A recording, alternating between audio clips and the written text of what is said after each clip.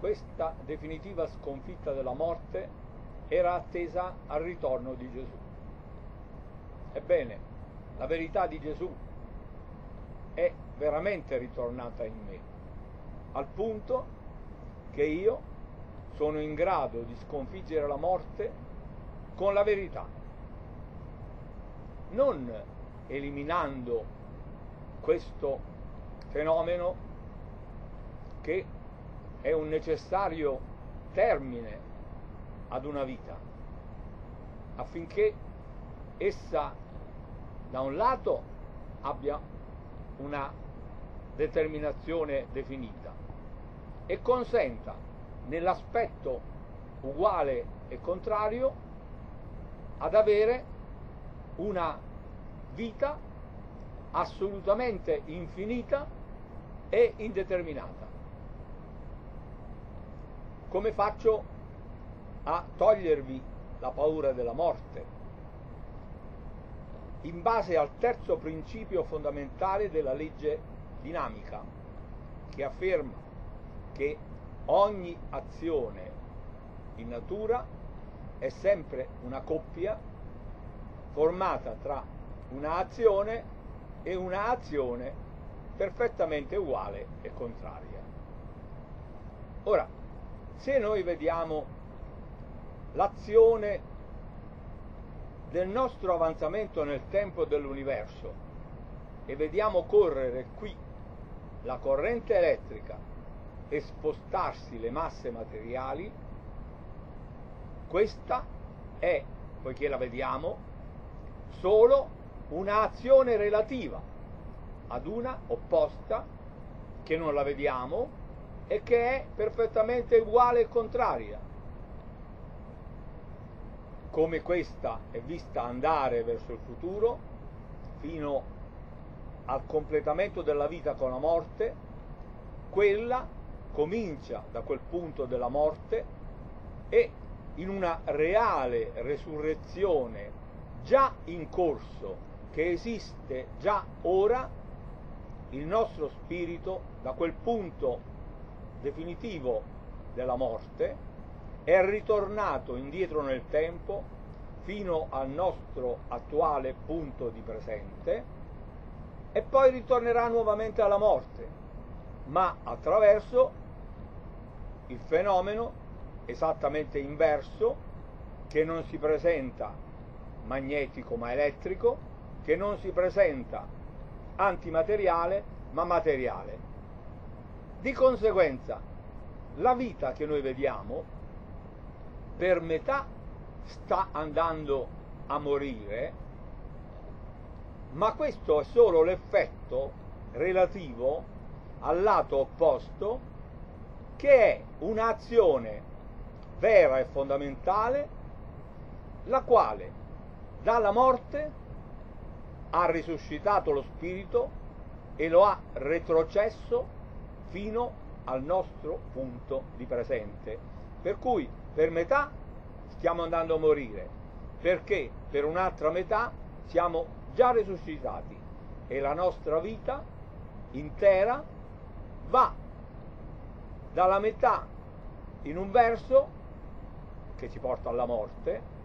alla metà che dalla morte ci riporta indietro verso questo presente. Quello dei due versi, che è vero, è quello della resurrezione. Per cui noi siamo già risorti con il nostro spirito, abbiamo già superato il punto della morte, che non è un punto estremo, è un punto definito come uno specchio che ribalta perfettamente una dinamica in quella perfettamente opposta. E allora, visto che noi ora, in questo punto di presente, abbiamo già sorpassato la morte con il nostro spirito risorto e tornato finora, non possiamo aver paura di una morte che abbiamo già superato. Se a mano a mano che avanziamo con l'elettricità e con la materia ci avviciniamo al punto della morte, quando saremo al punto limite della morte, accadrà che il nostro io dopo tutta la vita vista in termini di materia e di elettricità, comincerà a vedere il lato opposto secondo il magnetismo e secondo l'antimateria e vedrà il tempo tornare indietro. Noi assisteremo realmente alla retrocessione del tempo. Saremo sbalorditi vedendo che ogni situazione evolve in quella precedente, sempre più precedente, fino a portarsi al momento iniziale della nostra vita e poi nel momento iniziale di quella dei genitori, dei nonni, dei bisnonni, recuperando tutto il percorso fino a rientrare ciascuno di noi in quell'unico Adamo in cui a livello di vita umana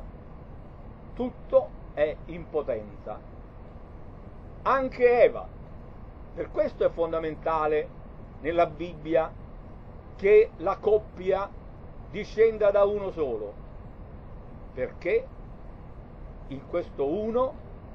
ci possa essere come un tutt'uno ogni sviluppo di tutta la vita futura presente in pura potenza. Ecco, io ho vinto la morte. Non potete aver paura della morte perché di fatto noi abbiamo già vissuto quell'esperienza con il nostro spirito, ma ne siamo già venuti indietro, solo che noi non possiamo vedere questo verso, perché è quella cosa su cui ci basiamo perché noi vediamo solo in modo relativo a quella cosa. Quella cosa non la vediamo. Il nostro modo di vedere relativo a quella cosa è di vederla nella dinamica uguale e contraria condotta dalla oggettività, diciamo così, uguale e contraria. Quindi ho compiuto quello che mi ero ripromesso, di togliervi la paura della morte, se la vostra intelligenza è in grado di ragionare in maniera personale, autorevole su queste cose, senza la necessità che voi crediate a queste cose solo se ci credono altri, i sapienti, non dimostrandovi capaci di concludere una risultanza sulla base delle leggi. Se le leggi esistono e sono esatte ed è esatto il principio di azione e reazione, tutto quello che io dico è assolutamente vero.